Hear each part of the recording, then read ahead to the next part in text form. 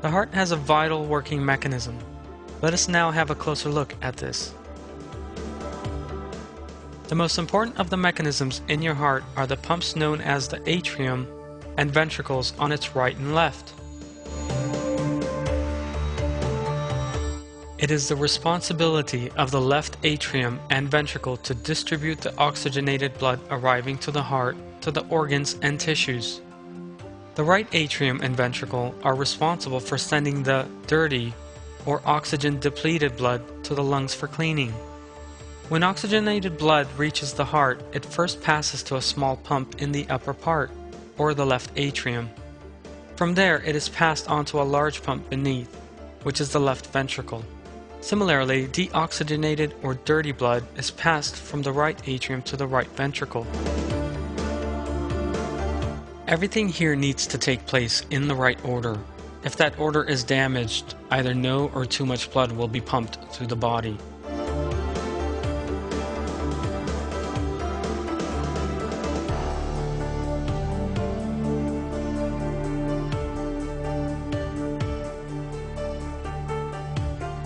There are valves between the atria and ventricles to permit the sequence to take place properly. These valves open in only one direction, that of the flow of blood. When the atria contract, these valves open and blood fills the ventricle. Once this process has taken place, the valves close to prevent the blood flowing back to where it came from. Similar valves are also present in the ventricles.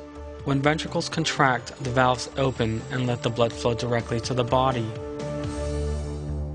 When the pumping process stops, the valves close and blood is thus prevented from returning to the heart. The sound we perceive as the heartbeat is not contrary to what most people imagine, the sound emerging as the result of the heart's contraction and dilation. What we are actually hearing is a powerful opening and closing of these four valves.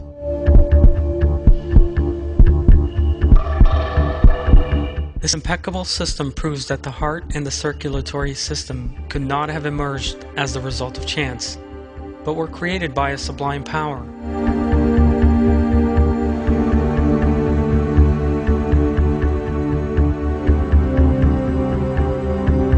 That power belongs to Almighty Allah. Lord of the heavens and the earth.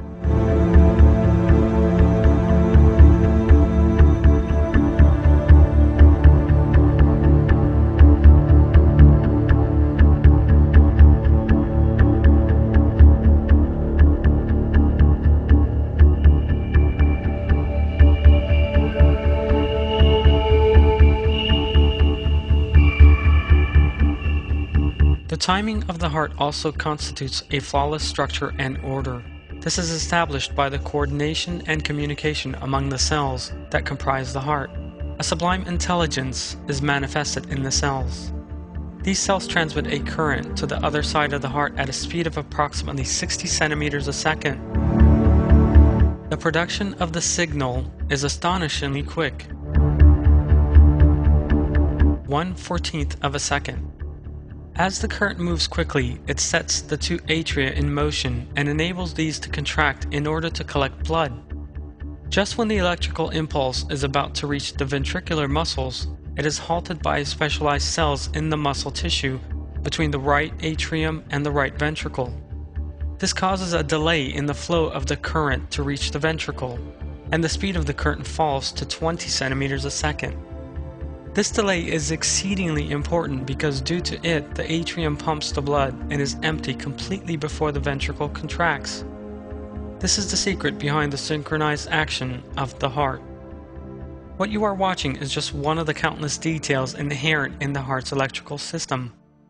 The slightest interruption to this system, with its miraculous features, will lead to blood not reaching the organs or else reaching them late.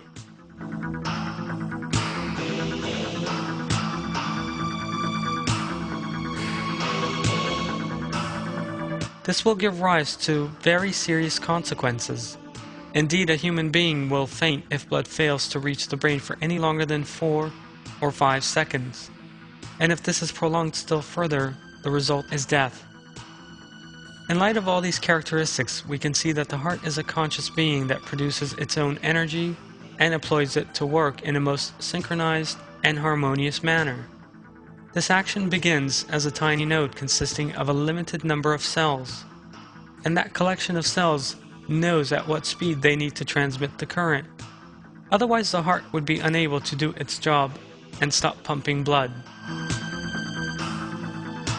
At the same time, the heart accurately determines the amount of electrical current it produces.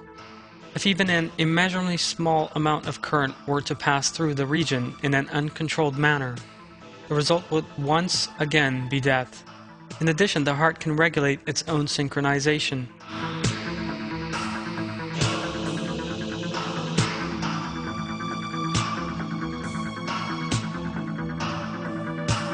When the cardiac cells align side by side, the cell with the fastest rhythm of expansion and contraction keeps the others in synchronization.